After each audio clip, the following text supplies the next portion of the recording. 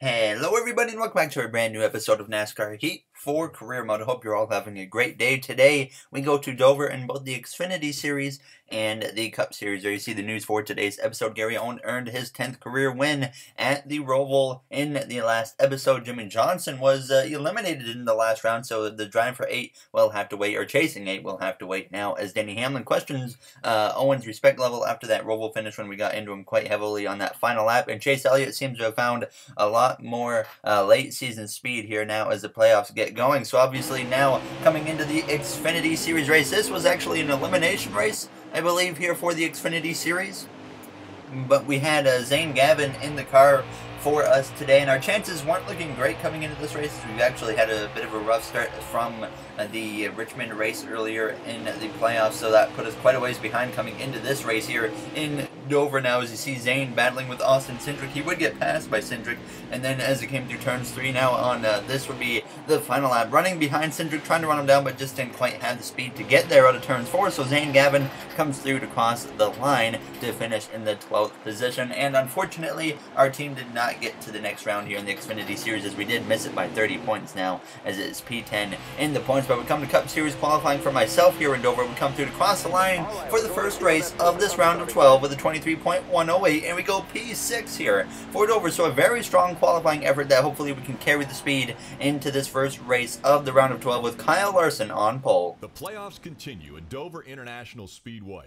This race marks the beginning of the round of 12. After four drivers were eliminated last week, the drivers are ready. Miles the Monster is ready. So pull up a chair. NASCAR Playoff Racing is coming up next. All right, thank you, Rick Allen. We're ready to go green here at Dover. Uh, Martin Truex Jr. and Kurt Busch both going to the back. Truex gave up qualifying position for new tires, but Kurt Busch, he failed pre-race inspection, so that's why you're going to see the one car at the back of the field. Now, that's two playoff contenders. Keep in mind now as we get ready to go green and start this first race of the round of 12 here in the playoffs. Now, Kyle Busch up there in P4. We're going to have to watch out for him today as the green flag is out and we are underway. Kyle Larson leads the field here in Dover. Kevin Harvick, our teammate, just in front of us. Joey Logano joins Kyle Larson on that front row, and immediately Logano actually has the advantage over Larson, but now Larson fights back through turns one and out of turns two as we head down this back straightaway for the first and opening lap here of this race. Brad Keselowski just on my outside at this point as we go down into turns three. Kyle Busch getting aggressive early on, trying to make a three wide between Kevin Harvick and Joey Logano as they exit turns four. Larson just trying to cover all three cars there behind behind him as we go down into turns one. Larson goes all the way all the way to the top. Then we get hit in the left rear by the 11 of Denny Hamlin. That moves me up the track now as Hamlin was not waiting around at all, and we were battling up the inside of Keselowski. At this point, we would be able to just kind of cruise right on by the uh, two car here. The 42 went all the way to the top, and that allowed me to get into the inside of Larson as well. So all of a sudden, we pass Larson and take P5 away. As you see now, Logano goes all the way to the top on lap three, and then he slows up a little bit right there in front of us. So we lunge now to the inside and try to take the fourth position away from the Penske Racing driver. Sure enough, through the center of the corner, we would carry the momentum to get clear of Logano on the exit of the corner. Then next, we were running down Denny Hamlin here on the back straightaway into turn three. We would get to the inside of the 11 car through turns three and turns four. Harvick out front, Kyle Busch second. We move through now to take over third, but Kyle Busch, he would get to the inside now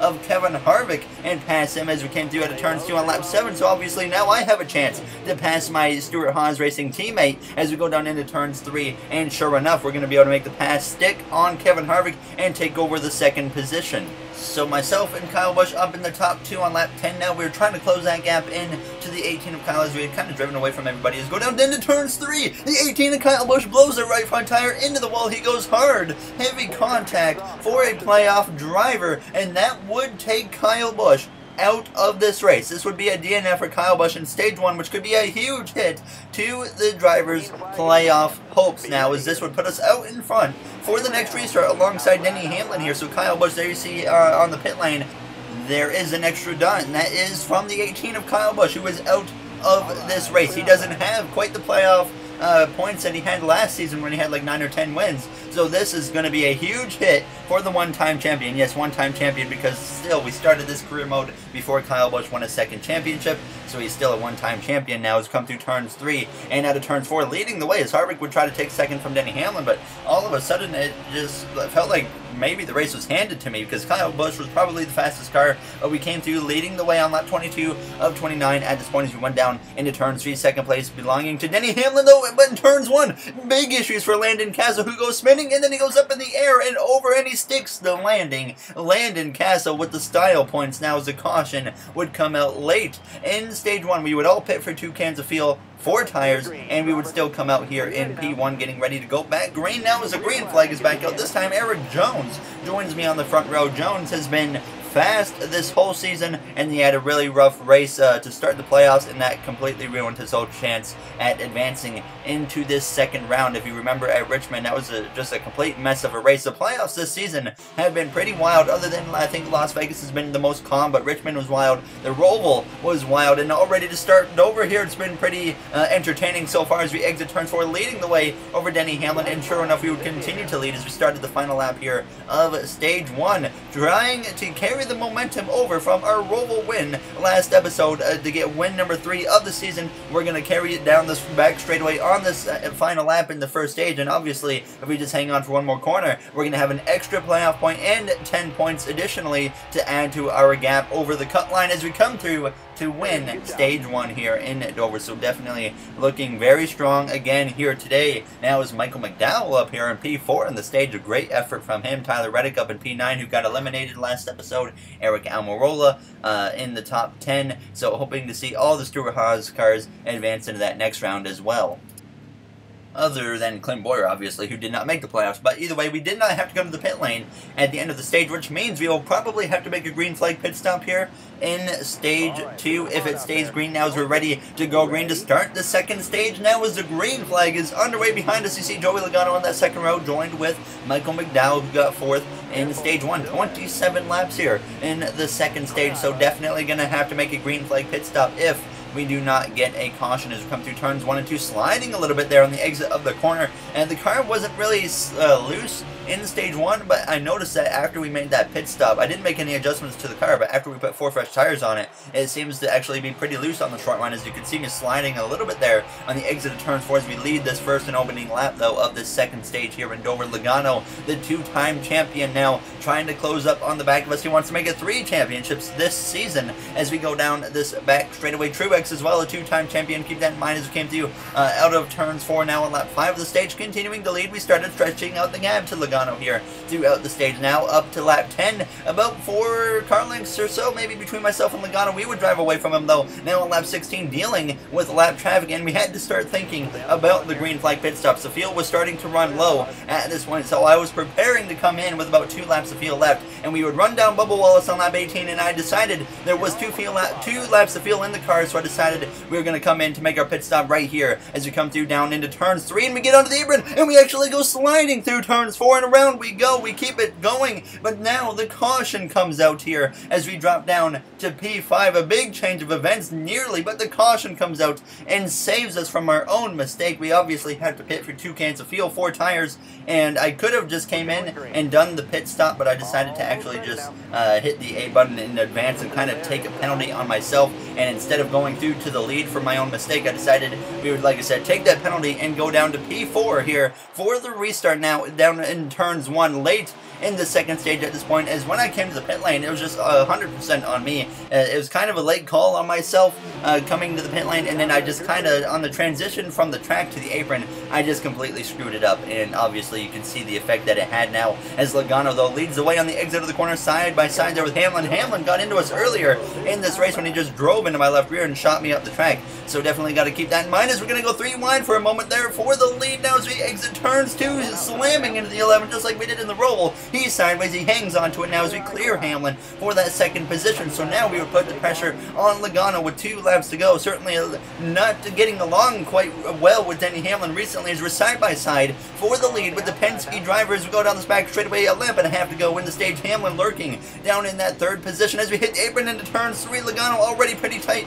on our doors. He has to move up the track with myself there as we exit turn four. Logano clear for the lead as the white flag for stage two was in the air as go down into turn one, a little bit of a shot to his bumper, and instead of maybe loosening him up, he goes further ahead, and then the 11 gets into the side of me again here in turns two down this back straightaway. Okay, Denny, I see how it's going to be throughout the rest of this playoffs if you want to race like this now as we come through turns three and out of turns four. Joey Logano is going to win stage two. Hamlin second, myself in P3. Denny Hamlin and myself clearly uh, have a little bit a little bit of beef going or something because at the Roval finish, obviously we came together quite uh, significantly, and then he hit me earlier in this race, and then I hit him just a few moments ago, and then he hits us right back. So that's uh, what the fourth time we've gotten together since the Roval. Now, as we would get ready to go green though for this third and final stage, Hamlin takes the lead on the pit lane now as we're back underway here for this third and final stage from the third position. Logano P2 Harvick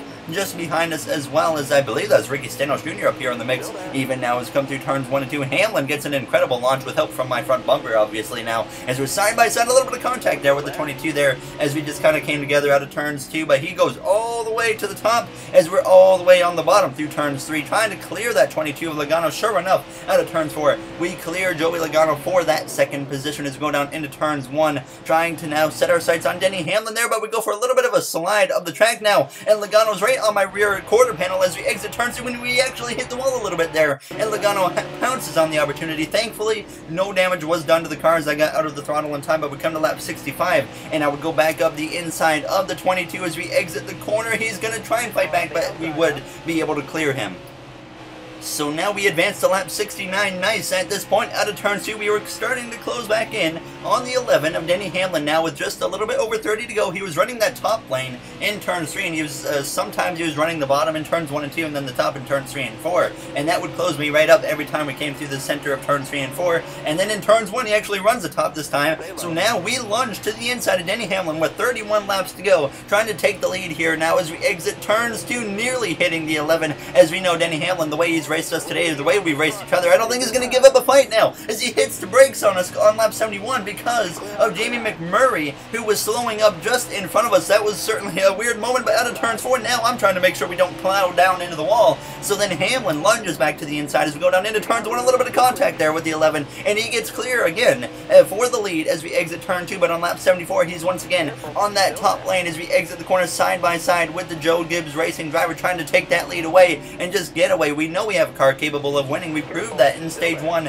and stage two before we obviously made our pit error, but Hamlin would stay clear, but then again, he goes back to the top. I try to get back into this fight, and we get clear of him, but then I just didn't quite chop his nose. I decided to be at least a little bit respectful to the points leader. Now as we come through down into turns one and two, just trying my best to get the position as we're close on the exit of two, but Hamlin hangs on to the lead, not giving up this battle now as we came through on lap 79, approaching a lap car. This is our good opportunity to maybe use Ryan Truex as a pick to slow up Hamlin on lap 79, and sure enough, we make a little bit of contact on the exit of the corner, and now the 71 will indeed hold up the 11 of Hamlin as we go down into turns one. We clear him, but then we hit the apron. Sideways Jones is here as well now as we slide up the track, and now Hamlin back to the lead again, and, and we got Erik Jones now who will come through to take the second position as we hit him a little bit down into turn three as we're hitting everybody today great racing here today in Dover. Jones would actually look to the inside of Hamlin on lap 82, and I decided we're going to go three wide for the lead into turns one now, but we slide up, so we had to get out of the throttle as we come through the center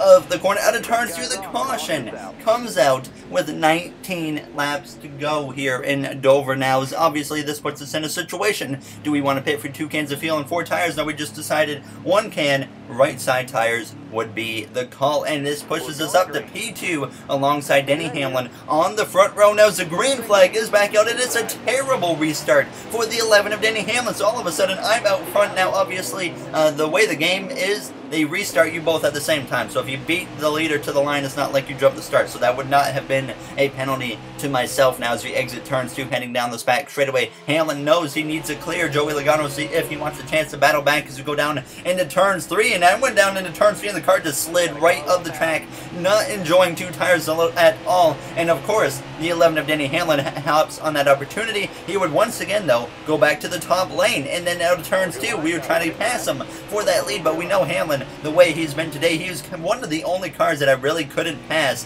when they were running the top lane as we come through turns three three and out of turns four. Only a little bit over 10 laps to go. At this point, Logano and Jones side by side behind us for that third position as we came through now on lap 89 out of turns four. Hamlin still up top as we slide on the exit. We're three wide with a lead. Logano pounces on the opportunity. Hamlin clears going down into turns one as we drop down to P3 at this point. And Logano, he would just go right up to the 11 and drive right on by him, which kind of frustrated me quite a bit that the 22 was so easily able to pass the 11 of Denny Hamlin. So now we come through turn three. There you see him clears the 11. So now I'm doing everything I can to make sure I get clear of Hamlin on lap 92. Finally out of turn two, I decided to just put it in the throttle harder. And if I put the 11 in the wall, I was going to do it. But thankfully we clear him without even making contact. So now we're trying to focus on running down that 22 of Logano here in the final laps. Now as we hit lap 94, seven laps to go, closing in on the 22 within a car like this. We go into turns one. The caution comes out, and this will force us a late race restart here in Dover to decide the first race of the round of 12. Is it going to be myself or Logano advancing or maybe someone else? We're about to find out.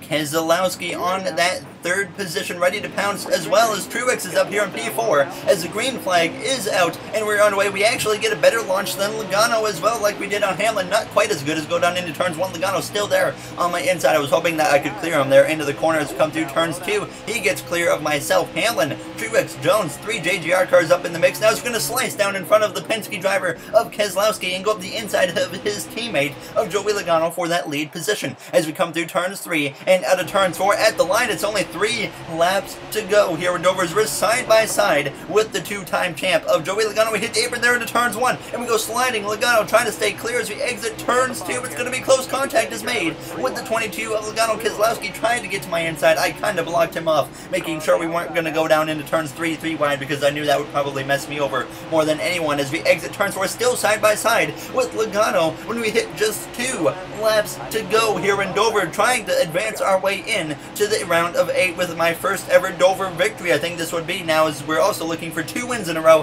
and career win number 11 as we go down this back straightaway side by side with Logano. 11 and a half to go. Hamlin now side by side behind us with Keselowski. He runs that top lane, trying to utilize that momentum on the exit of the corners. We're side by side still with Logano at the line. The white flag is in the air. Logano would have won if that was a checker, but we still have one more lap to try and take the win away from the 22 side by side since the restart as we exit turns two.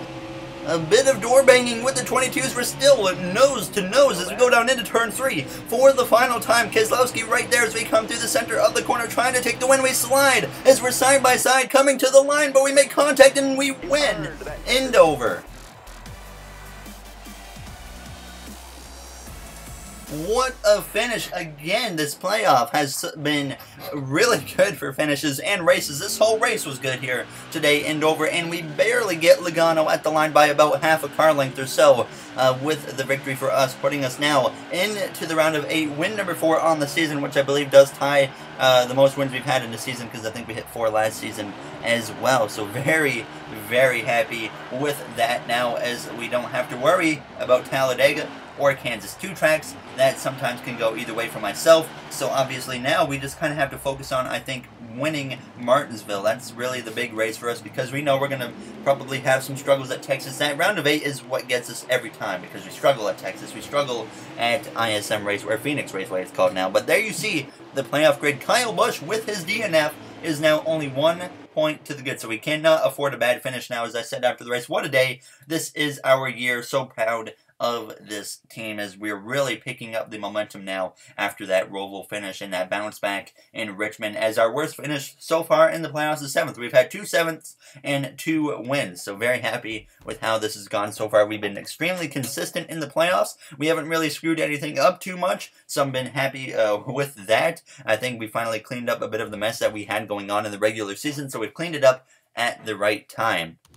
We did have a special contract offer there from Roush Fenway. Obviously, I'm not going to be taking that up uh, now. As uh, as always, though, if you guys did enjoy this episode, make sure to comment, like, and subscribe. Those would all be very appreciated. In the next one, though, we go to Talladega who knows what's going to happen in Talladega. But uh, what I do know is with the win here today in Dover, we can go to Talladega and just be as aggressive as we want. I'm probably not going to just ride the bottom uh, to get to the front. I'm probably going to try and make some moves in the middle, probably up top as well, and see what we can do. But there you see now the playoff grid for the final time. So there you see Kurt Busch, Truex, Bowman, and Newman all on the outside looking in. Truex, a bit of a surprise. But I'll see you guys in the next one. So thank you for watching, everybody, and have yourselves a great day.